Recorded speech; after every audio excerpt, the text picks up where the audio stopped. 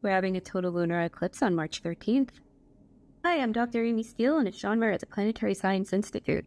So, the first thing to know for eclipses in general is that the sun is always shining, which means that the Earth and moon both cast shadows in space.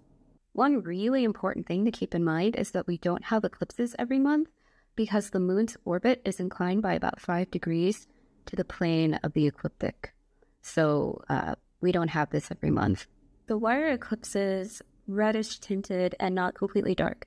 Well, this is because of the Earth's atmosphere, which preferentially scatters blue and green shorter wavelengths of light than it does red.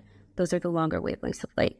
And this means that the moon passing through the Earth's shadow is really passing through all of the Earth's sunsets and sunrises. That's what gives it its reddish tint.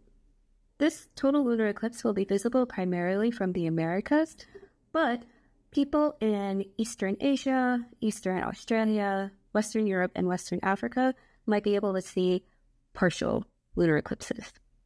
This year's blood moon or bloodworm moon or sunset moon is going to be visible kind of late at night. So on the East Coast, we're talking like 2 a.m. On the West Coast, a little bit better, 11:30 p.m. Hopefully, you get to see it.